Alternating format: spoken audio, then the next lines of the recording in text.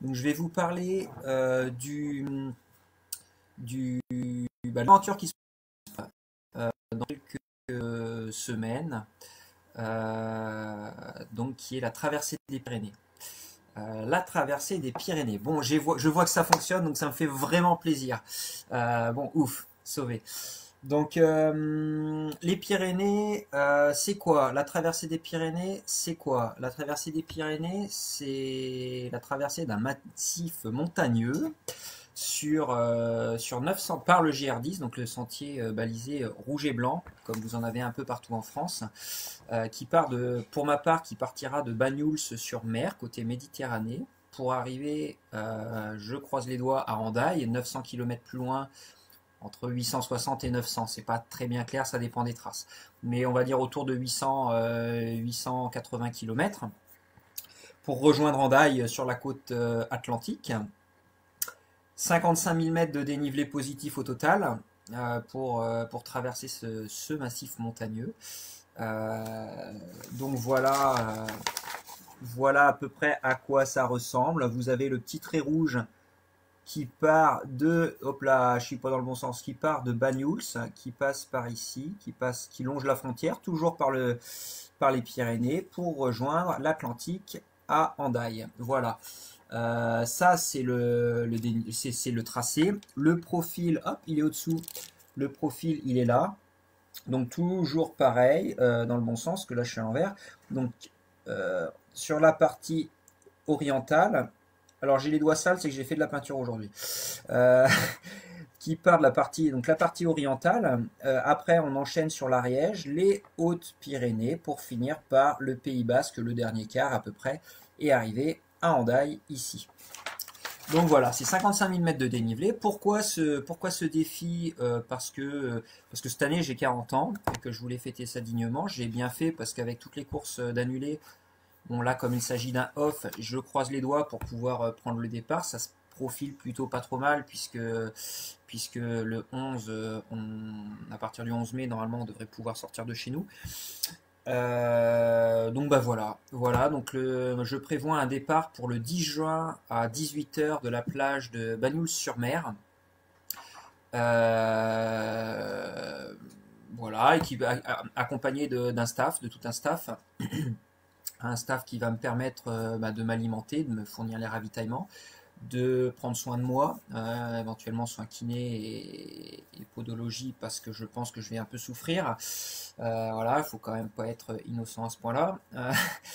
donc, donc voilà, je vais être accompagné tout un staff qui me prendra quelques petites images, qui vous tiendra aussi informé un petit peu de l'avancée des choses qui, euh, qui me ravitaillera sur les postes dans, dans les vallées, mais aussi euh, en montagne. Il y aura des personnes qui m'attendront en montagne sur les sections les, les, plus longues où je verrai personne. Donc voilà, euh, voilà de, enfin comment ça, comment ça va se profiler. Alors je vais juste faire un petit truc parce que je, ah voilà, salut. Salut Gwen. Alors Gwen, c'est donc c'est le premier qui, a mis un commentaire. Gwen, j'espère que tu vas pouvoir venir.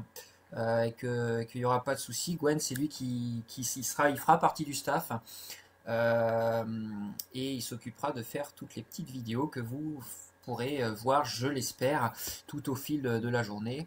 Enfin, tout au fil de l'aventure, tous les jours. Et puis, on fera ensuite de ça, j'espère, un petit film pour pour, euh, bah, pour vous faire revivre un petit peu tout ça. Alors je fais défiler un peu, voilà, ça fonctionne, nickel, merci, génial, super, merci de me le confirmer, c'est cool. Tu iras plus vite que le Corona. Ouais, mais enfin, je serais surtout un peu isolé parce qu'en pleine montagne, le Corona, euh, bah, le coronavirus, euh, normalement, je devrais pas le croiser beaucoup, beaucoup, sauf si les ours et les isards sont atteints et qui me poursuivent.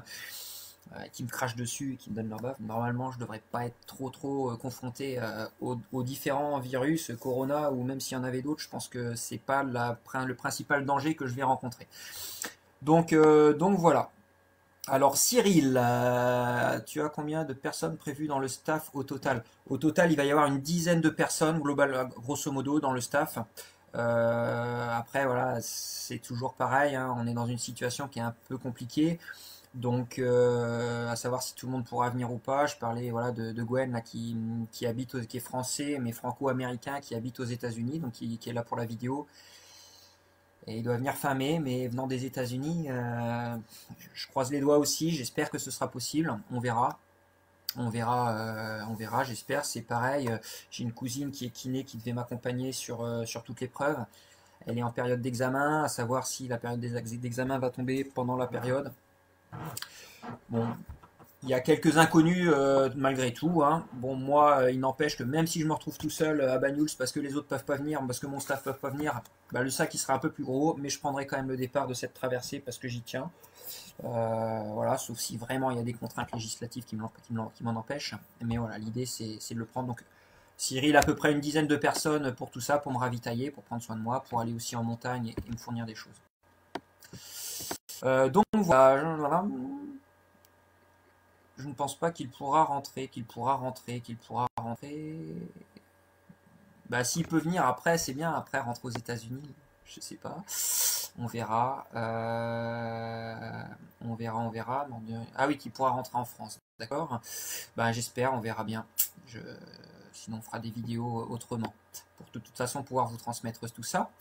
Euh, comment je gère mon alimentation pour du aussi long As-tu un repère? Alors, moi, clairement, euh, c'est pas un trail, c'est pas un ultra trail, c'est une aventure. Donc l'alimentation, sur la, durée de la journée, euh, clairement, je vais la gérer.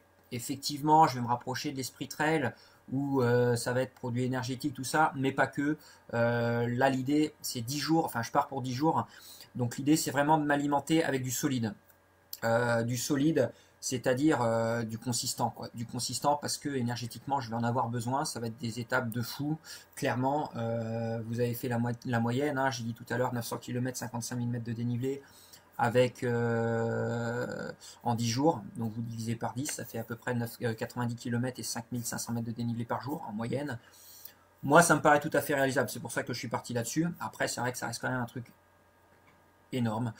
Énorme, donc il va falloir manger énormément aussi. Donc euh, clairement, sur mes points de bivouac, euh, je reparlerai du sommeil tout à l'heure, sur mes points de bivouac, entre guillemets, euh, qui seront en vallée et auprès de mon assistance, donc accompagné d'un camping-car où je pourrais dormir confortablement. Là, l'idée, c'est de manger une grosse ration à la fin de mes étapes, une grosse ration au début de journée, au début de mes étapes, parce que les, journées vont se terminer tard et commencer très tôt. Mais donc du coup de faire vraiment des très très grosses rations euh, avec des plats très consistants. Euh, voilà, je m'interdis pas euh, une petite fondue savoyarde ou, autre. Au contraire, là l'idée c'est de prendre de la calorie et de blinder. pareil au cours de la journée, agrémenter la journée effectivement le classique de l'alimentation énergétique. Donc moi avec tous les produits Efinov que je vais pouvoir avoir euh, et, d'agrémenter ça par des repas consistants. Quand je revois en vallée mon, assistance, donc il fera des, sauts de puce de vallée en vallée pour, pour, me, pour me voir sur toutes les vallées que je vais traverser, puisque, je ne l'ai pas dit sur la présentation du parcours, la caractéristique du GR10, c'est de passer par toutes les vallées, toutes les vallées françaises.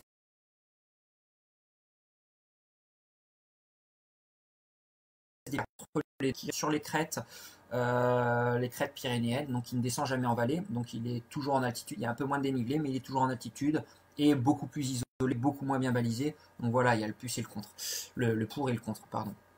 Donc là, à chaque vallée, je vais pouvoir revoir mon assistance et prendre le temps de m'alimenter comme il faut pour refaire le plein de carburant parce qu'on reste des, voitures, il y a la carrosserie, il faut en prendre soin, et puis euh, il y a le moteur qu'il faut prendre, dont il faut prendre soin, et puis il y a le pilote hein, qui reste, voilà, donc là le pilote il va falloir qu'il soit fort parce qu'il va conduire pendant 10 jours, donc ça va être, euh, bah, ça va être costaud quoi. Donc euh, l'alimentation, voilà, c'est comme ça. Si je suis pas assez précis dans mes réponses, n'hésitez pas à me, à me donner des questions supplémentaires, j'essaye d'y répondre, voilà, le mieux. Et le sommeil, Mika, elle, comment je le gère? Alors le sommeil, euh, on m'a déjà posé la question tout à l'heure. Euh, la stratégie, la technique, le matériel. Donc je vais revoir un petit peu là-dessus. Le sommeil, donc 10 jours de course. L'idée, c'est de partir de, Banyuls le mercredi soir à 18h. Je reviendrai pourquoi le mercredi soir à 18h. D'arriver 10 jours plus tard. Donc ça fait 10 jours de course non-stop. Gérer le sommeil, alors j'ai beaucoup réfléchi là-dessus. Gérer le sommeil euh, comme les marins, c'est-à-dire par des micro-siestes, c'est très difficile dans mon cas, enfin dans, notre, enfin dans mon cas, oui, sur 10 jours, parce que fonctionner avec des micro-siestes, euh, on récupère pas physiologiquement et physiquement quoi, de l'effort. Il faut faire vraiment des phases de sommeil complètes. Donc là, moi, je vais partir sur une ou deux phases de sommeil complètes. Donc une phase de sommeil, c'est à peu près une heure et demie. Moi, l'idée, c'est de faire des nuits de 3 heures et demie. Je me mets 3 heures et demie par jour de sommeil pour me régénérer au maximum et pouvoir tenir sur les 10 jours. Euh, faire des micro-siestes, il y en a qui ont essayé. Euh, je ne sais plus en quel film c'était, il y en a qui ont essayé. Mais euh, micro-sieste, le problème c'est qu'on ne se régénère pas suffisamment et qu'il y a un moment donné, bah, ça passe plus. Quoi. Ça passe plus et au bout de 4-5 jours, bah, ça saute. Pascal, Pascal Blanc, qui l'a tenté l'année dernière, s'est rapproché un peu de ça. Ça a été difficile. Il y en a d'autres qui l'ont tenté, ça a été difficile. Donc pour gérer le sommeil, bah, je me suis rapproché des connaisseurs, des connaissants des sachants, euh, ceux qui ont déjà vécu ce genre d'épreuve, donc notamment ceux qui font du raid multisport sur plusieurs jours, hein, sur 6-7 jours, euh, de, certaines, personnes qui ont fait euh, déjà d'aventures sur plusieurs jours, notamment Thierry, Thierry Priou qui a déjà fait la Transpyrénéa, qui m'a beaucoup conseillé là-dessus. Lui, il m'a dit clairement, il a fait ça en 13 jours et 10 heures, ce qui est déjà très très bien, une des meilleures performances. Et euh, lui, il dormait 4 heures par jour et il m'a dit, mais franchement, Eric, il n'y a pas de souci, 4 heures de sommeil par jour, euh, tu passes facile. Donc moi, l'idée, bah, c'est de me rapprocher de ça. Euh, 3h30 par jour, voilà, je vais, essayer de partir là-dessus. Ça me fait, euh, bon, je compte 4h30 de pause par jour, avec les phases d'alimentation enfin, l'alimentation du soir et, du matin. Donc voilà, 4h, 4h30 de pause pendant la nuit. Euh, pour optimiser le sommeil, puisque l'idée c'est d'optimiser le temps de progression euh, pendant l'ensemble de cette aventure. Et là, l'idée c'est de partir sur, euh, bah, sur 20 heures, ouais, entre 19 et 20 heures de progression par jour. Je, je, parle de progression, pas de course. Bien entendu, ça reste les Pyrénées. C'est sur 10 jours, donc bien entendu, je vais être fatigué. Ça va être compliqué de, de, de courir tout le temps. Bien, ce sera même impossible. Donc là, l'idée c'est d'alterner marche, course, relancer, d'essayer d'aller le plus vite possible, bien entendu de préserver aussi le plus possible. En termes de stratégie de sommeil, donc là j'ai parlé de la durée. En termes de stratégie, donc voilà, euh, la deuxième stratégie, c'est de dormir en vallée. Pourquoi en vallée et pas en, hauteur? Donc déjà parce qu'en vallée, ça me permet de rejoindre mon assistance, donc d'être dans un cadre confortable, dans un camping-car là en l'occurrence, donc de dormir quand même confortablement, donc de régénérer, de mieux récupérer donc ça, c'est un élément. Et le fait d'être en vallée, ben, on dort mieux quand on est en vallée à, plus basse altitude que quand on est à 1500-2000 mètres d'altitude. À cette altitude-là, il y a moins d'oxygène, donc on dort moins bien. Euh, voilà, même si on s'acclimate temps, c'est plus difficile. Là, l'idée, c'est aussi de, de, dormir en plus basse altitude pour, pour ça. Bon, au niveau du matériel, j'en ai parlé. Je serai en camping-car, donc dans des conditions de sommeil confortables et qui me permettront j'espère en tout cas, de récupérer bah, au maximum. Quoi. Donc voilà comment le sommeil, euh, je compte le, gérer. Donc mon départ, bon, j'en déjà, ai déjà parlé tout à l'heure. Le départ, je pars quand, Julien? Euh, bah, Je pars donc le mercredi juin à 18h. Je vais profiter de cette question pour répondre à la question pourquoi euh, le mercredi 10, juin à 18h Ça t'est venu comme ça? Non, je ne l'ai pas tiré au dé. Mon idée était de partir, était de partir sur 10 jours. Donc ça, avant même de savoir leur corps et tout ça, euh, je me suis focalisé sur mon potentiel, sur ce que je pensais pouvoir faire et tout ça. Dix jours, ça me paraissait faisable, réalisable. Donc sache que moi, je vais partir vraiment en optimisant, donc avec un minimum de matériel et avec une assistance, avec voilà ce qu'il faut en, termes de logistique. Donc pour 10 jours, j'aurais bien aimé arriver un samedi pour me laisser un jour demain, un week-end. Donc moi, l'idée, c'était d'arriver un samedi. J'ai repris, repris 10 jours en, arrière, ça fait un mercredi. Donc déjà le mercredi, pourquoi le mercredi? Ça c'est la réponse. Euh, pourquoi 18h J'ai souhaité faire, de partir, je vais être frais au départ, donc j'ai souhaité partir euh, et d'optimiser mon potentiel physique de départ, où je suis frais, et sur quelque chose que je connais. Qu'est-ce que je connais? Je connais l'Ultra Trail, euh, l'UTMB notamment, puisque j'ai fait 6e et 8e. Là, ça c'est anecdotique, c'est les, les, résultats. Mais l'UTMB, je l'ai fait à trois reprises entre 23 et 24 heures, 170 km, au moins 10 000 mètres de dénivelé, entre 10 000 et 10 500 mètres de dénivelé. Donc voilà, donc moi je suis parti sur une première étape à peu près équivalente, c'est-à-dire que je pars sur une étape qui va faire 160 km avec 7000 mètres de dénivelé. Euh, donc moindre que l'UTMB. Euh, et pour faire cette étape, je pars sur 30 heures et 30 minutes. Voilà, c'est le temps que je me laisse pour faire cette étape. Donc vivre une première nuit, je sais le faire parce que je l'ai vécu à l'UTMB, euh, La Réunion et, ces grands ultra trails. Donc vivre une première nuit, ça me pose pas de problème. En général, quand je finis l'UTMB, je finis plutôt bien. Enfin, je finis bien, je suis fatigué, bien entendu. Mais, euh, voilà, le rythme de course est bien supérieur. Je mets 3 heures et non pas 30 heures comme je le prévois. Donc je prévois 7 heures de plus pour quelque chose qui sera un peu plus facile puisque 10 km de moins et 3000 mètres de dénivelé en moins. Donc c'est pas négligeable. Donc voilà, mes 160 premiers kilomètres seront plus faciles qu'un UTMB. Je me laisse beaucoup plus de temps. Donc voilà, je pense que euh, ça me permettrait d'arriver vers minuit euh, le jeudi soir, donc dans la nuit du jeudi au vendredi, et donc de, faire une première étape conséquente qui me permette d'optimiser la distance réalisée tout en, tout en gérant tout ça. Après, clairement, moi j'ai jamais fait 10 jours de course, ça va être l'aventure. Euh, comme j'ai coutume de le dire, l'histoire, elle est écrite dans les livres. Il n'y a pas de livre qui va raconter l'histoire que je vais vivre. Euh, Peut-être qu'après j'en ferai un, mais je sais pas. Mais en tout cas, il n'y a pas de livre qui raconte. Toute l'histoire restera à écrire pendant ces dix jours. J'ai jamais vécu, hormis la première étape que, je peux à peu près euh, palper. Le reste, je ne le connaîtrai pas. Donc ça va être, très compliqué. Euh, ça va être très compliqué à gérer. Je le ferai. Ça va être de la découverte. Ça va être de la découverte. Donc, tout va, tout va être à voir. Donc, euh, donc voilà pour, euh, pour, pourquoi cette première étape. Après, on verra bien euh, quand ça va se gérer. Je me suis programmé des étapes, donc je, parle de la, je vais parler de la programmation, je vous lirai vos questions après. J'ai programmé des étapes, donc en fait, je me suis fait un petit document, voilà, j'ai tous les points. Alors, c'est à peu près des points qui sont tous les 3-4 km, voire tous les 2 km. Voilà, sur, ça tient sur, sur 3 pages, voilà, c'est écrit beaucoup de lignes, il y a plein de couleurs. Et je je suis déjà mes étapes approximatives. C'est que un point de repère. Après, je suis pas à l'étape près. C'est que des points de repère pour me donner à peu près, savoir à peu près où je vais en être, à quel moment. Euh, voilà. Alors si je montre en détail euh, le truc, euh, en vert, ça va être les points euh, où je compte pour me dormir, donc en vallée dans le camping-car. En jaune, c'est les points où l'assistance pourra venir me voir, où c'est accessible par la route. En rouge, c'est les villages, donc où il y aura un peu plus d'installation.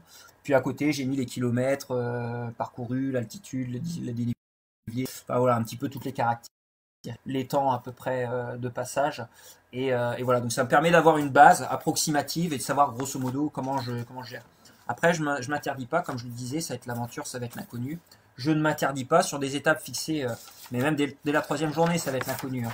Donc, ça ne m'interdit pas. Là, je parle de, de, de, de Viellor, une étape qui, qui devrait s'arrêter à Viellor, donc à côté de, de Saint-Lary-Soulan une étape qui devrait arriver à Viellor. Donc j'ai mis mardi euh, 16 juin à 2h du matin euh, pour un redépart de Viellor, donc une arrivée le, mercredi, lundi soir.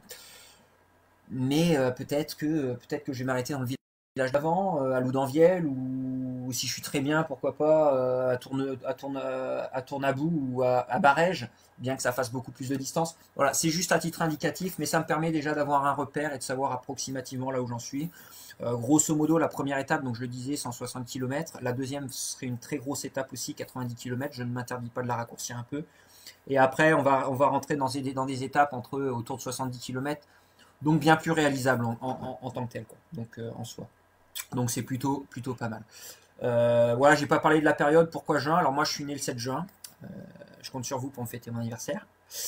Euh, et voilà, je voulais pour fêter ça, que ce soit le plus près. Donc je pars euh, effectivement le 10 juin, donc juste après mon anniversaire.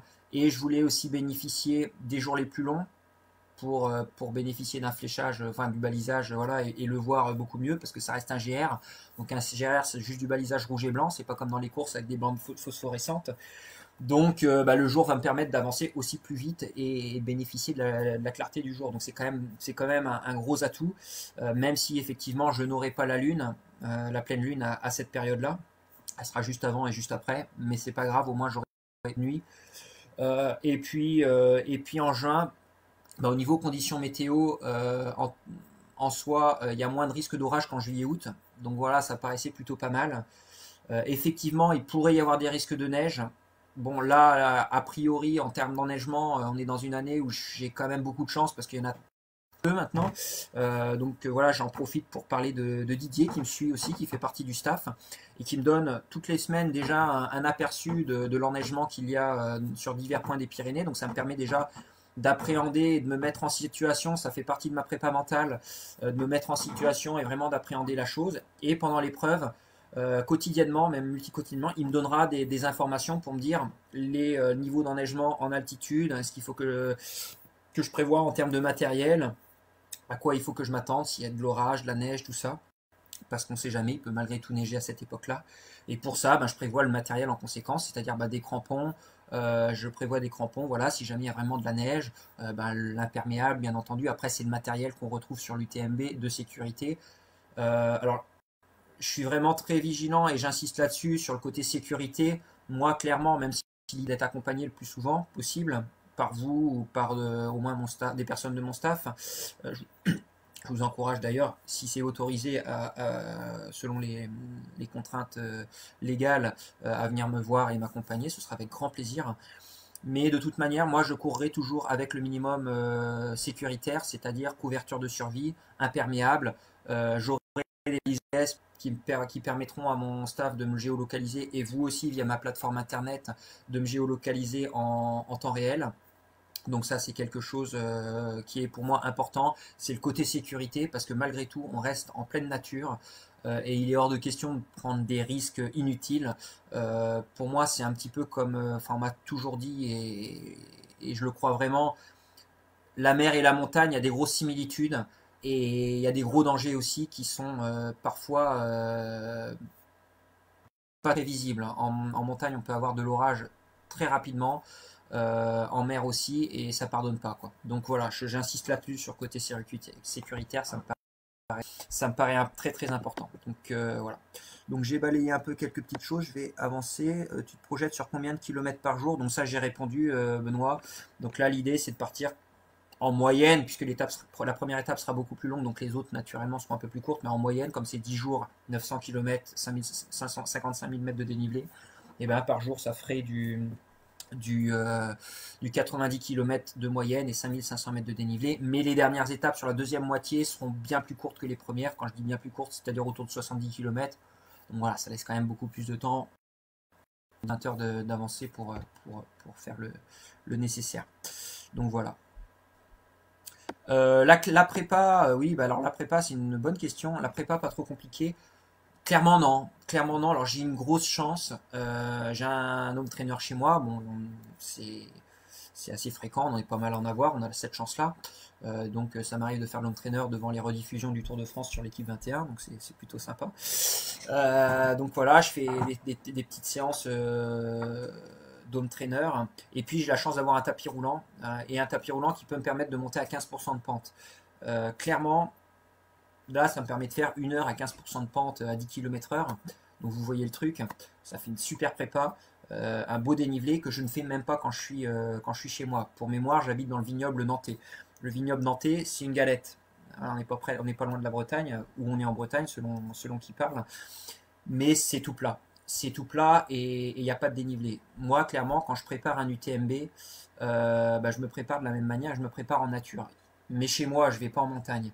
Donc, je limite, là, j'ai l'opportunité de faire du tapis roulant avec du dénivelé. Limite, j'ai des meilleures conditions que quand, euh, je le fais en, pleine nature. Donc, non, c'est pas, euh, pas du tout une contrainte. Après, je fais beaucoup d'autres choses. Je fais, fais alors du yoga. Donc, j'ai découvert ça avec Running, Yoga. Donc, c'est une, formation que je suis en train de suivre pour moi, c'est quelque chose de très riche et très complémentaire, puisqu'on apprend beaucoup avec le yoga sur, du, sur, sur le ressenti, sur la prise de conscience de, de ce qu'on fait, sur, euh, sur le, la respiration, la synchronisation de la respiration avec l'effort. Et franchement, j'y crois beaucoup. C'est quelque chose que je mets en pratique et qui m'a apporté directement, enfin très rapidement. Donc, je fais du running, du, yoga, du renforcement musculaire. J'ai des appareillages, euh, j'ai des, appareils, voilà, de, de j'ai des barres de, j'ai même un petit, des petits coussins pour faire de la proprioception. J'ai pas mal de choses. J'ai même mis moi-même des choses en place euh, avec des élastiques de chambre à air. Euh, voilà, je m'amuse à mimer un petit peu, donc que j'accroche à un arbre. ça, je, prends mes bâtons et, je fais comme si je marchais. Ça me permet de faire un renfort. Ça paraît couillon, mais ça me, paraît de faire, ça me permet de faire un, un renforcement du haut du corps tout en essayant de se rapprocher un petit peu de ce que je peux vivre en montagne, puisque ça, jour, ça va être un élément vraiment fondamental que de travailler avec le haut du corps pour soulager au maximum les jambes faire travailler l'ensemble du corps en fait en, fin de compte pour optimiser mes performances. Et, euh, beaucoup de prépa mentale parce que je suis un passionné de prépa mentale. C'est un peu pour ça aussi que je fais ce genre de, j'allais dire de délire, de défi. voilà, je suis un peu passionné de prépa mentale, ça m'apporte beaucoup de faire ce genre de défi, que ce soit du 24 heures, que ce soit de l'ultra trail, les courses à étapes, de l'Ironman comme j'ai pu faire, tout m'a vraiment beaucoup apporté. Et, j'espère que ça va m'apporter encore beaucoup de faire ces 10 jours. voilà, je, suis en formation aussi de, de préparateur mental avec la méthode Target. Donc c'est vraiment très très riche. Et, euh, et, voilà, donc je en prépa mentale, je fais beaucoup de visualisation, j'en reparlerai peut-être parce que je pense que la question va, peut-être... Euh, donc voilà, j'essaie de suivre les pas trop. Moi, bon, le déconfinement est le 11 mai. Euh, si jamais on peut vraiment être relativement libre après le déconfinement, l'idée c'est de faire quand même un peu de montagne et repérer. Moi j'aimerais bien repérer au moins justement euh, la première étape dont je parlais tout à l'heure, notamment la partie de nuit de cette première étape, pour être confiant sur cette première étape qui va être fondamentale pour le reste de l'aventure. C'est-à-dire que reconnaître cette partie nocturne, cette première partie nocturne, que je vais faire intégralement de nuit, donc euh, enfin, je vais faire la nuit euh, je vais une première nuit intégrale sans phase de repos, donc vraiment une première nuit intégrale. L'idée d'avoir repéré ce parcours va me permettre d'être beaucoup plus en confiance par rapport à, moi et au tracé. D'autant plus que, euh, notamment Thierry Priou m'a averti que cette première partie pouvait être un petit peu délicate en termes de, d'erreurs de, parcours et autres. Donc voilà, je, préfère euh, la, repérer un petit peu. Maxime Engin, pas peur de la neige, même si on n'a pas eu une dernière neige. Ouais, donc j'ai déjà répondu. Donc effectivement, pour l'instant, il n'y a vraiment pas beaucoup de neige. Donc j'ai vraiment beaucoup de chance. Euh, après, même s'il y a de la neige, et eh ben, il y a de la neige, mais, mais l'aventure dans ce track, je parlais de la préparation à l'instant. Euh, au début, c'est vrai que ce GR10, c'est un défi énorme. C'est pour ça que je le fais, parce que j'aime bien quand on me dit que les choses sont impossibles. Moi, je pars du principe qu'il n'y a rien d'impossible quand on a vraiment la volonté de le faire et qu'on croit en soi. Euh, donc moi j'ai envie de me prouver et de prouver que voilà c'est possible à faire, même quand on habite dans le vignoble nantais et que c'est tout plat et qu'on peut voilà qu'on peut s'aventurer pour aller essayer de battre un record euh, de traverser des Pyrénées. Moi je suis convaincu que c'est possible. Alors moi le fait d'être confiné, de m'entraîner dans mon garage, moi ça me ça m'excite encore plus parce que je me dis c'était déjà impossible, là c'est encore plus impossible. C'est non seulement je une, un, défi qui est, monstrueux, mais en plus, euh, en se préparant confiné, je suis un peu fou, je, le, je le conçois, mais, euh, j'adore, mais j'adore. Et puis bah, là, le fait s'il y a de la neige, eh ben, eh ben, je relèverai quand même le défi, je ferai tout pour. Je ne prendrai pas de risque, bien entendu, mais je serai équipé en conséquence pour pouvoir euh, pallier à ça. Et puis, bah, on, verra ce qu'à prendre, c'est le risque que j'ai. alors, j'ai tapé euh, euh, comment as-tu fait ton tracé? Il y a un tracé qui a été officialisé. Euh, donc Pascal Blanc a fait l'année dernière, a tenté l'année dernière, donc il m'a retransmis la trace, qui m'a été aussi transmis par, l'association des amis des gerdistes. pour voilà, trace officielle donc que j'ai récupérée euh, donc euh, c'est ce que je c'est pas ce que je vous ai montré parce qu'elle est, un, un, petit peu erronée mais euh, voilà grosso modo c'est vous voyez pas grand chose mais c'est cette trace là il y a juste une petite variante ici. Donc là c'est un tracé qui est tout droit. Au lieu de faire cette grande ce grand tour par l'ourquette d'art qui, qui, était normalement le point culminant que je ne fais pas donc là c'est 2700 mètres et qui fait redescendre par par Gavarnie le pont d'Espagne. Donc ça c'est une partie que je, je, zappe pour arriver directement à Cotteret. Et sinon, il y a bien un tracé officiel euh, qui... Oh, je vois que j'ai une, question très intelligente de mon ami Pierre-Étienne, mais euh, j'y reviendrai tout à l'heure. Ah, comment on fait pour les questions? Alors, faut les... Euh, voilà les questions, les questions. Euh, Pierre-Étienne, quand tu as envie de faire caca, euh, quand tu as envie de faire, tu feras comment? Non, quand tu as envie de faire caca, tu feras comment? Eh bien comme tout le monde. Ah, PE, euh, c'est comme ça que ça marche. on va, moi aussi je t'embrasse. On, va derrière un petit buisson et puis on fait popo quoi. Hein? Après il y a les petites, petits aventuriers où il n'y a pas besoin de papier, tout ça, mais ça, je te, je te, le garde, je te, je te garde pour, pour le privé. on en reparlera si tu veux, parce que je sais que c'est un sujet qui, qui, te porte à cœur. Euh, euh, Cyril, un porteur de sac à caca.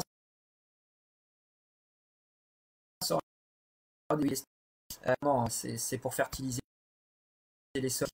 nature à fond pour, à 100%. JP 10 fois les 100 km de Steinwerk, un truc si j'y crois, c'est passer ta vie sexuelle pendant ce défi, et eh ben ça va dépendre des animaux que je rencontre, des ours, comme je disais, des isards. On verra. Donc euh, toujours une question de notre ami euh, que j'adore. Euh, Stéphane, Stéphane, ouais, Stéphane, euh, utilises-tu du de de l'auto-hypnose? Oui, pardon. utilises-tu l'auto-hypnose? Alors, autant sur 24 heures, oui, je l'utilise. Euh, je l'utilise sur 24 heures parce que euh, le parcours est relativement simple, hein, c'est plat, il n'y a pas de difficulté. Euh, je vais découvrir ça sur le GR10. Je vais voir, je vais voir. Je vais voir comment ça se passe, ça va être la découverte. Il y aura certainement des outils mentaux à mettre en place que je vais découvrir. C'est pour ça aussi que je le fais, comme je le disais. donc, bah, je verrai, je verrai avec la difficulté du parcours, après, j'ai pas envie de prendre de risques, donc voilà, j'aimerais bien être quand même conscient et conscient, en conscience avec le parcours et tout ça.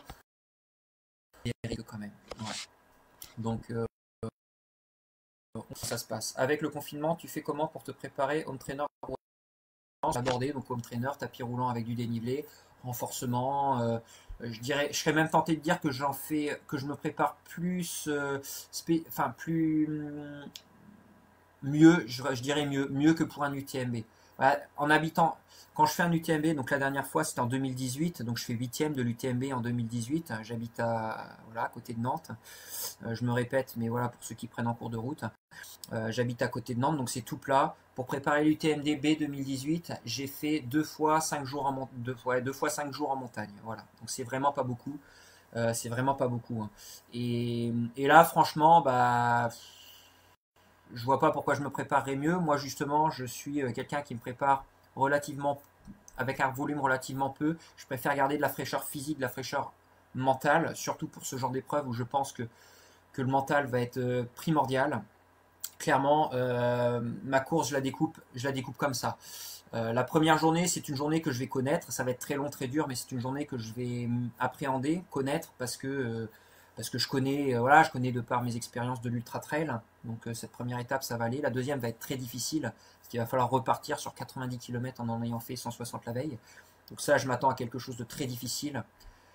Par expérience de des stages euh, intensifs que j'ai pu faire et, des choses comme ça, en, des, des, aventures que j'ai pu faire un petit peu en, en, off comme ça sur plusieurs jours en beaucoup plus light, d'expérience, c'est toujours la troisième journée la plus difficile physiquement, parce qu'on a la fatigue des deux premiers jours, et on a un retour de bâton, c'est sur cette troisième journée.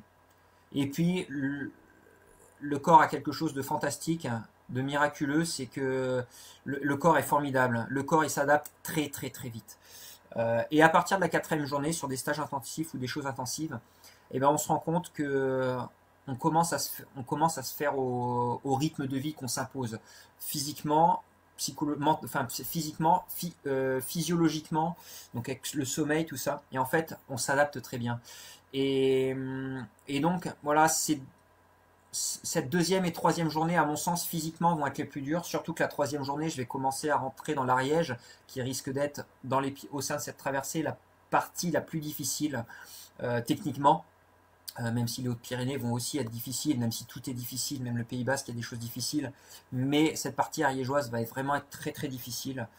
Euh, les Hautes-Pyrénées vont être, aussi difficiles parce que pareil, par expérience, dans une course, que ce soit un 1500 mètres sur piste ou que ce soit un ultra trail, le deuxième tiers est bien souvent le plus difficile à gérer. Le deuxième tiers d'une course, c'est quelque chose de vraiment délicat à gérer. Et, et donc la, partie médiane quoi de la course à peu près et cette partie Haute-Pyrénées donc qui, correspond au Midi-Pyrénées donc le centre des Pyrénées risque d'être difficile. Parce que là c'est pas forcément pas tant physiquement puisque ce sera plus le deuxième deuxième et troisième jour mais mais euh, mentalement. Peut-être même si c'est magnifique et tout peut-être le fait de rentrer dans une lassitude euh, de l'effort, puisque ça va correspondre entre le quatrième et le, sixième jour, approximativement, quatrième, et, quatrième au septième jour. Et là, c'est le risque de rentrer dans une lassitude de l'effort, de la chose et tout. c'est pareil, c'est des choses que je visualise, que je prépare, auxquelles je me prépare. Et, et la dernière partie, euh, la dernière partie, donc le Pays Basque, on sent l'arrivée, on sent c'est comme voilà, c'est comme en course, on sent l'écurie euh, et ça se passe en général mieux euh, parce que parce qu'on sent que l'arrivée approche et que là on mettrait tout pour y arriver. D'ailleurs, j'en profite. Pourquoi dans ce sens-là, Méditerranée Atlantique et pas Atlantique Méditerranée? Et eh ben c'est aussi par par méthode mentale c'est que la partie orientale, donc que je veux un peu reconnaître, c'est pour ça aussi que je veux la reconnaître, je la connais pas du tout. Euh, jusqu'à la fin de l'Ariège, je connais pas du tout. Moi, en fait, je connais très bien les Hautes-Pyrénées pour y avoir beaucoup randonné quand j'étais petit et puis euh, même adolescent et, euh, et, il y a quelques années pour y avoir randonné, fait des stages de vélo ou, tout seul et tout ça. Et la partie basque, je la connais par cœur, j'y suis très souvent allé, donc je la connais très très bien. donc j'ai préféré connaître frais, donc c'est sur cette première journée, sur ces 160 premiers kilomètres notamment, être relativement frais. Euh, j'ai voulu être, euh, voilà, faire cette partie que je ne connais pas en premier pour, euh, pour l'appréhender beaucoup mieux et finir par ce que je connaissais pour aller vers ce que je connais et du coup finir en terre inconnue. Et du coup, le fait de finir en terre connue, psychologiquement, on se sent bien mieux parce qu'on arrive, on arrive là où, là où on sait, quoi. Donc, donc c'est toujours, c'est toujours mieux, quoi. Cette raison-là que je le fais dans ce sens-là. Euh, Julien, euh, pomme, qui me met quelle quantité d'eau consommeras-tu lors d'une journée de course? J'en ai absolument aucune idée. J'aurai deux flasques et puis je boirai en fonction de mon envie. Après, le rythme ne sera pas hyper soutenu, hein. bien entendu. Si je pars pour 10 jours, je ne pars pas pour une course euh, qui fait 80 km ou 40 km, ou même un ultra trail, ce sera bien moins soutenu. Comme je le disais tout à l'heure, à, équivalence, un UTMB que je fais en 23 heures, Là, l'idée, c'est de faire ma première étape sur 30 heures et 30 minutes. Ça me laisse 7 heures de plus. Euh, donc, euh, ça fait quasiment un quart de temps en plus. Donc, ça me laisse quand même. normalement, ça me laisse une marge. Quoi. Donc, le terrain sera moins soutenu. L'intensité sera moins soutenue. Donc, ça devrait me permettre d'assimiler ma nourriture plus facilement, de prendre plus de temps et aussi relativement, voilà, toute, toute proportion gardée, de me dépenser moins et, voilà le temps de, boire et de prendre les choses. Et puis, euh, bon, j'ai un organisme qui, encaisse assez bien les conditions un peu rudes, entre guillemets. Moi, boire dans les torrents et tout, je sais qu'il y en a quand même des problèmes. Moi, ça me dérange absolument pas. Donc, bon, à part, dans la partie ariégeoise, où c'est un peu plus sec, euh, de l'eau, il y en aura quasiment partout ailleurs. Donc, je pourrais boire dans les torrents dès que j'en aurai l'envie pour, pour re-remplir sans aucun problème. Donc, c'est l'idée. Et puis, il y a des refuges tout au long du GR10. Hein. Il y a des refuges et des gîtes tout au long du GR10 voilà, l'idée c'est aussi de me ravitailler, euh, partir pourquoi pas avec un petit billet de 20, de 20 euros, et puis au nécessaire, m'acheter de la nourriture ou boire un coup. Quoi. Donc voilà, c'est un peu l'idée. Euh, et puis tu me mets, pourras-tu la transporter ou organiser vous des ravitaux? Euh, Ouais, on va. Bah, ce que je disais tout à l'heure, l'idée c'est d'organiser aussi des ravitaux. Donc en vallée, il y aura toujours du monde. Et puis qui est de temps en temps sur les longues portions, parce que la, la, portion la plus longue qui ne passe pas par une vallée, elle fait à peu près entre 35 et 40 km. Donc là, ça fait quand même long quand on n'avance pas bien vite. Hein, à 5 km heure, c'est à peu près euh, ce que j'envisage. Euh, bah, du coup, là, l'idée, donc ça fait, vous faites le calcul, ça fait à peu près 8 heures sans voir d'assistance. Donc là, l'idée, c'est qu'il y ait sur ces longues portions, il n'y en a pas beaucoup, mais sur ces longues portions, sans voir d'assistance, où il y ait quelqu'un qui, me, vienne à ma rencontre en, altitude avec un sachet de lyophilisé, puisque Sodebo va me fournir, enfin devrait pouvoir me, donner des sachets de lyophilisé. Donc, euh, donc voilà, c'est de pouvoir être lyophilisé, être ravitaillé et réhydraté en altitude et, euh, et pouvoir voilà, me ravitailler par, là. Tu veux venir dans l'assistance, tu pourras venir euh, me faire des ravitaux en, altitude. Euh, JP, quelle répartition mentale et physique et mentale sur un défi énorme comme celui-ci? Ouais, bonne question. Moi, alors ça, ça va être propre à chacun et chacun va donner un chiffre différent. Moi, clairement, c'est 90%, 10%. 4, enfin, dire 85% parce qu'il faut quand même l'historique enfin, l'historique euh, sportif et physique et, le potentiel pour le faire. Mais non, on va dire entre 80 et 85% pour être généreux, 80-85% de mental et 20 à 15% de, physique. Clairement, pour moi, c'est ça. Moi, sur un 24 heures, clairement, c'est pour c'est pareil. Euh, sur des efforts de ultra ultra endurance, c'est comme ça que je le ressens. Euh, c'est mon ressenti à moi. Donc voilà, ça n'engage que moi mais j'estime que ça. Euh, J'aurais tant aimé. La Valette, malheureusement, non comme beaucoup. Ça, c'est dommage. Euh, et, voilà.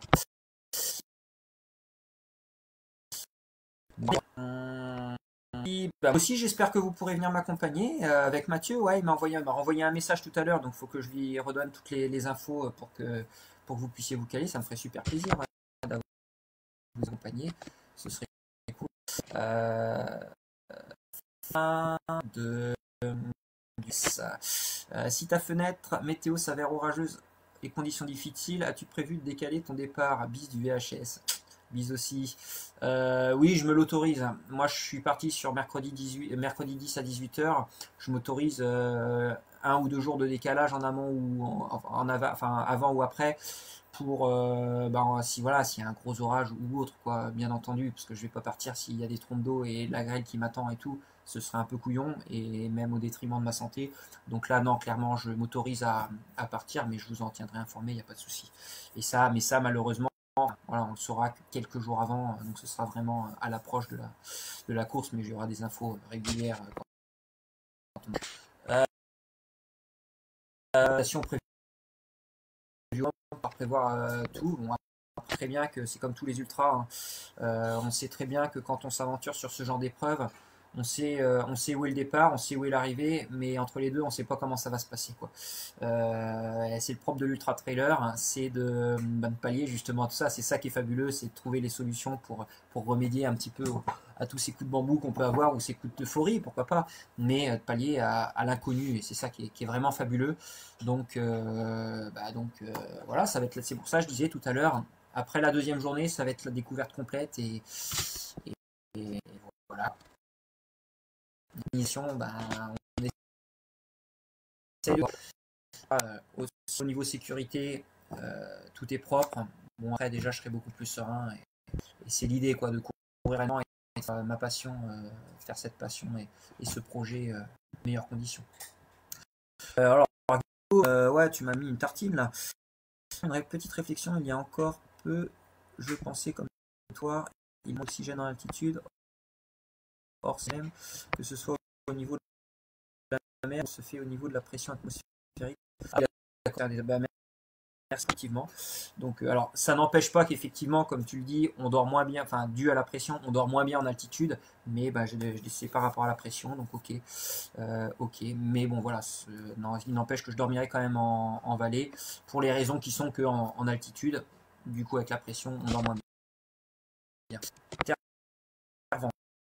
Euh, Peux-tu détailler aux sciences alors moi, un de mes traîneurs sophistiqués, c'est un autre traîneur que j'ai acheté euh, dans un magasin il y a, de sport il y a 20 ans.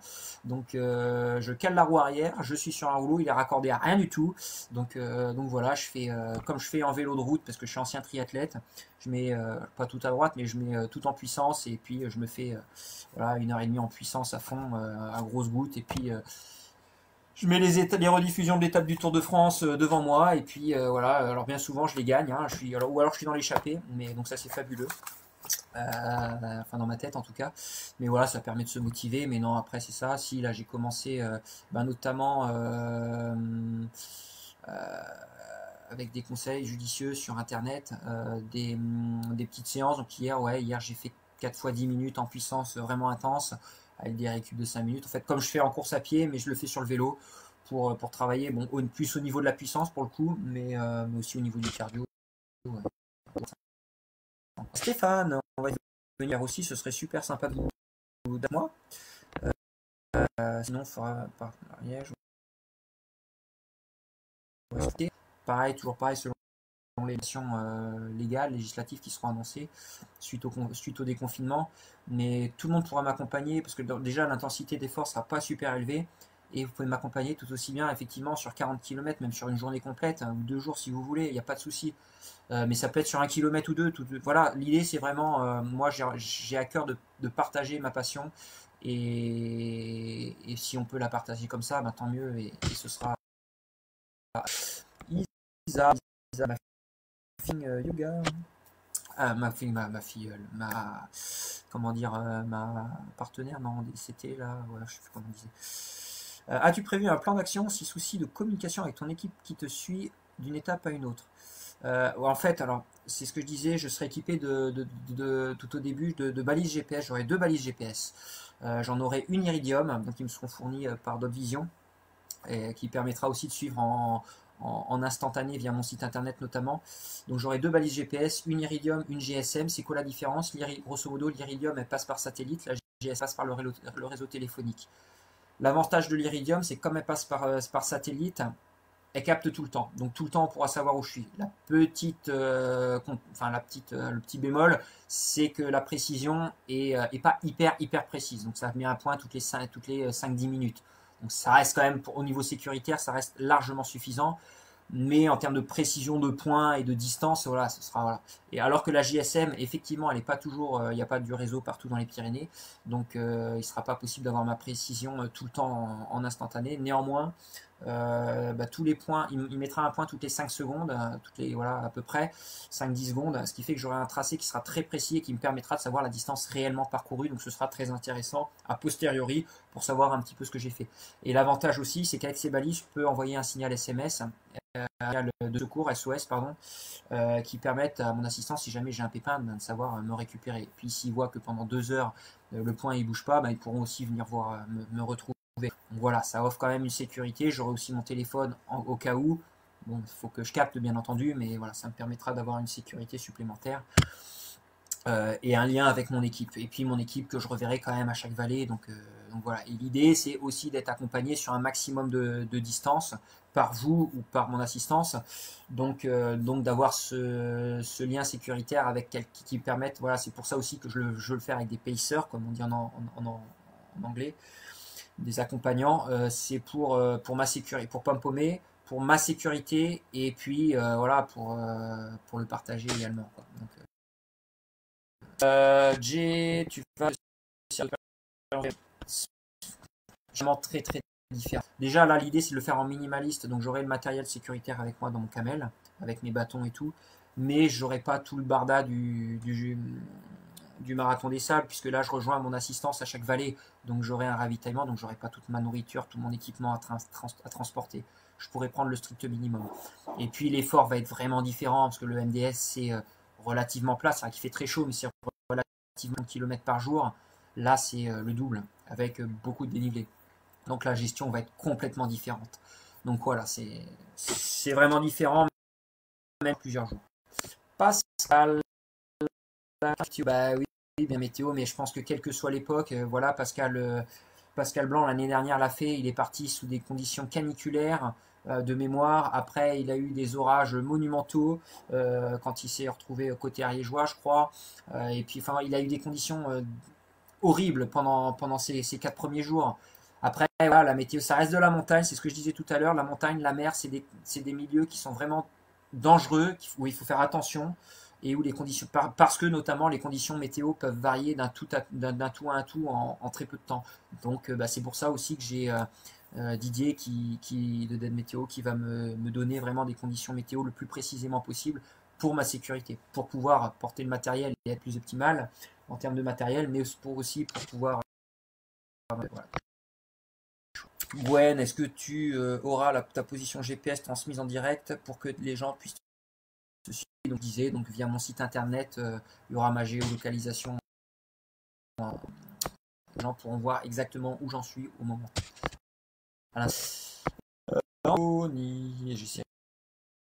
J'espère bien que tu l'as promis. Euh, Raphaël là-dessus par contre pour la Bref, euh, Raphaël, as-tu mis un plan nutritionnel spécifique pour ce défi? Euh, bah, Ce que je disais tout à l'heure, non, clairement, là, c'est de manger de la calorie. Parce que je vais beaucoup dépenser de calories, je vais perdre certainement beaucoup de poids. Donc là, c'est de manger, de manger, pas de me gaver, mais de manger beaucoup. Euh, donc voilà. et tu gardes les prévus? Voilà ce que je disais, les étapes, elles sont théoriques. Pour l'instant, je les garde comme ça. Après, on verra. Euh, on verra si je les tiens. Après, je m'interdis pas de m'arrêter la vallée d'avant ou la vallée d'après en fonction de l'avancée du truc, de faire peut-être des étapes un peu plus courtes au début et un peu plus longues à la fin. Mais grosso modo, euh, la structure globale va rester, j'espère, hein, sauf, si, je prends deux jours, deux jours de retard d'un coup ou trois jours. Mais J'espère que la structure globale sera à peu près respectée, euh, quitte à faire un petit peu à la Mycorn quand il fait ses, traversées euh, antarctiques et voilà, faire des journées de 30 heures, pourquoi pas, hein, c'est une solution aussi. C'est-à-dire, euh, au lieu de faire 20 heures d'avancée pour dormir 4, enfin pour me reposer 4 heures, faire 25 heures d'avancée et me reposer 5 heures, pourquoi pas, ça me permet de gagner du temps. Plein de stratégies qui sont élaborées, qui sont mises en place en amont, et voilà, je pense, on verra. On verra, mais je pars toujours sur Thierry. Je pars plus ou moins les euh, ouais, merci. Je sais pas si tu dois mais j'en doute pas. Et puis, je serai là pour enfin, je compte sur toi. Euh, ça, va Je suis lancé, mais c'est vous me posez des questions à la fois, moi je fais qu'y répondre. Hein. Euh, pour tout ce qui tu feras pour le tra, bravo, bah merci Sophie. Jérôme, j'espère que ta préparation se passe bien moi motivé, je en juillet dans les Vosges. Ouais, bah écoute, euh, j'ai lieu cette course de 203 km, mais ça paraît un peu, un peu bon pour toi. Je vais permettre. En tout cas, merci pour mettre l'adresse ou le lien pour te suivre. C'est mon adresse. Alors l'adresse internet, c'est tout simple. Euh, tout attaché euh. Donc voilà, vous aurez là euh, la carte euh, des Pyrénées avec le tracé rouge et le point qui sera qui indiquera là où là où je serai. Et puis il y aura aussi normalement le profil le profil avec le point où je où, donc, ah ouais Denis bah merci ouais je suis content bah ça se bah, comme tout le monde hein, comme tout le monde c'est vrai que les conditions sont un peu compliquées en ce moment j'imagine que vous êtes en galère donc euh, bah, on essaye de faire au mieux avec euh, ce qu'on peut, mais, euh, mais bon après il faut être motivé. Quand on a la motivation et qu'on reste dans ses baskets et qu'on va qu'on reste sur son chemin vers son rêve, on avance. Quoi qu'il en soit, on avance. même quand on est cloîtré, chez, soi. Donc il faut, il faut pas perdre de vue son rêve et rester sur le chemin pour continuer à avancer dans la bonne direction. peut-être il n'y a pas de question bête, Jérôme. Je la pose comme si on traîne 3 heures plus sur un tapis roulant en pleine nuit, et est-ce que ce n'est pas si on fait 3 heures de sortie longue en pleine nuit, et les organismes, euh, et si les organismes, j'imagine, travaillent pareil, euh, car Laurence Noël m'a dit qu'il faut aussi en pleine nuit, car bah alors effectivement, m'entraîner en pleine nuit, si euh, les confinements est acté, que je peux aller me faire du repérage, je le ferai aussi en pleine nuit pour, euh, pour préparer ça. Je l'avais fait pour le 24 heures. J'avais été courir entre 2h et 4h du matin pour préparer mon championnat du monde de 24 heures en octobre dernier. Euh, il, faut, il faut se préparer. Clairement, moi sur tapis, je le fais pas et encore moins courir 3 heures sur tapis parce que je suis pas persuadé que courir 3 heures sur tapis au niveau de l'intégrité physique santé ce soit pas le meilleur soit, ce soit pas le top, enfin que ce soit le top. Donc je préfère me contenter d'une heure maximum. Je fais une heure et demie et encore j'ai le ventilateur, mais pas plus quoi, parce que parce qu'on reste dans le même air, on reste euh, confiné et tout, et courir trois heures, euh, enfin trois heures dans le même environnement. Je suis un petit peu sceptique au niveau santé. Bon après je me sais vraiment que mon avis, c'est vraiment très personnel ce que je vous dis, sur tout ce que je vous dis. Euh, on a tous des avis différents, ça n'engage que moi, mais voilà. Donc je. Isa, as-tu prévu une playlist musical, ouais, je pense que je vais prendre du Jean-Louis Aubert. Euh, et puis, puis, puis, je penserai à toi. Hein euh, non, ouais, je pense que d'habitude, entre elles, je mets jamais de musique, j'en mets que sur le 24 heures, mais là, je pense que je prendrai quand même mon MP3 euh, avec la même playlist que sur le 24 heures parce qu'elle était plutôt sympa. donc, bah, donc voilà, je me je le poche, ça pèse pas. Le lien, donc Eric pour le GPS. Jérôme euh, non, non, non, non, mais pourquoi pas Pourquoi pas euh, euh, le grand François, là, c'est quand même un monstre. Hein, donc, aller battre son record, il va falloir se lever tôt. Hein. va se lever très tôt et, trafiquer un peu la montre pour qu'elle avance moins vite que la sienne, quoi, parce que ça va être compliqué. Mais, mais le faire, le faire, pourquoi pas J'ai eu l'occasion de faire. Ça a été une expérience sur 4 jours et demi. Ça a été une expérience fabuleuse avec euh, Totor, mon, ostéo, et, Cyril. Franchement, ça a été merveilleux. Une très très très belle expérience. Euh, pourquoi pas le refaire en mode encore un peu plus sport et en minimum de temps. Ouais, pourquoi pas. Mais j'ai une aventure euh, comme ça. Patrice, à toi aussi. Suivi. Euh, la propos du week-end de l'ascension. N'oublie pas. Raphaël, combien d'heures vas-tu en changer tous les jours Oui, j'en changerai tous les jours pour que sur au moins la semelle ait le temps de, se reformer, de reprendre un peu sa, son amorti. Euh, l'idée, je pense que je vais partir avec euh, autour de 5 paires de chaussures. 5 ou 6 paires de chaussures. Parce que le terrain pyrénéen, il est quand même assez agressif, entre guillemets et puis que les chaussures elles vont souffrir hein, parce que la foulée va pas être très aérienne donc je pense que je vais frotter un peu le sol euh, avec la fatigue. Donc ouais je pense prendre euh, je pense prendre 5-6 paires de chaussures et même peut-être changer plusieurs fois par, par, jour. Quitte à reprendre les mêmes au bout de 2-3 jours mais voilà le temps que la semelle se reforme et tout euh, mais voilà faire par demi-journée peut-être changer toutes les demi-journées et puis ça fait toujours du... et changer de chaussettes aussi c'est très important parce que le pied c'est vraiment l'élément du runner. euh, et, et, pour bien avancer, il faut toujours avoir les pieds sains. Hein. Je me rappelle Mike Horn, j'aime bien Mike Horn, vous l'aurez remarqué, euh, qui disait quand il a fait son latitude zéro, euh, le, primordial c'est toujours d'avoir les pieds secs. parce que quand ça commence, quand on reste dans son jus et tout, les pièces désagrègent et s'abîment très très vite.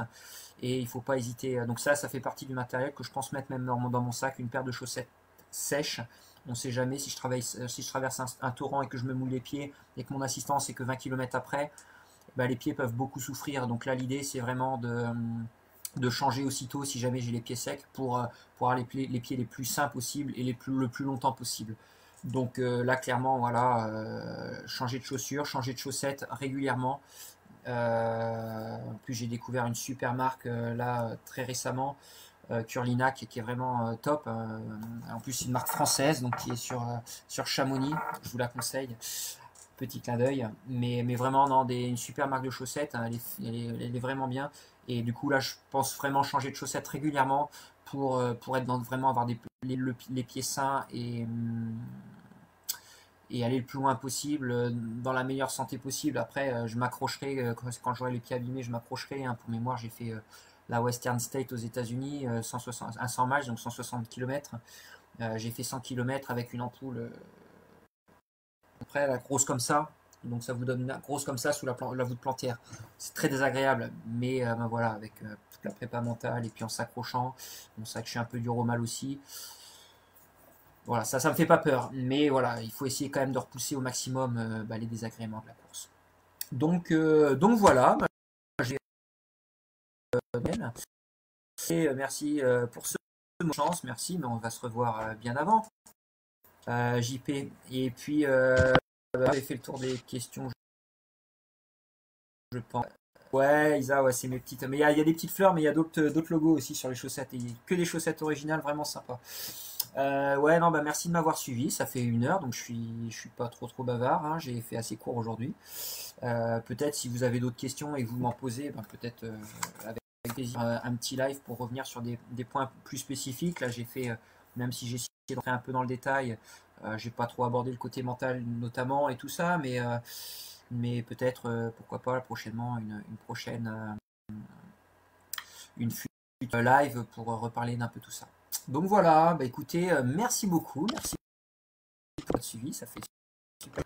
Bah, je vais remettre la vidéo en ligne comme ça, ceux qui sont ceux qui m'ont loupé, Sylvain que maintenant, euh, Hervé aussi, vous êtes un peu à la bourre, mais, euh, mais vous pourrez la, revisionner euh, posément. ça dure une heure quand même, hein, donc vous pourrez la digérer facilement. et, bah, Isa, si tu bah, réflexologie, bah écoute, t'es la bienvenue. Donc, Sauvin Joras, t'es dispo. une Normande dans l'équipe, je mettrai le maillot. Et leur Normand, il n'y a pas de souci.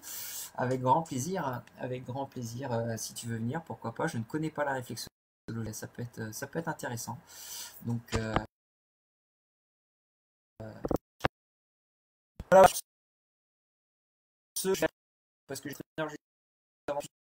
je vais aller, ça commence à, ça commence à tourner l'horloge. Hein Et puis à très bientôt. Merci encore. Ciao, à bientôt.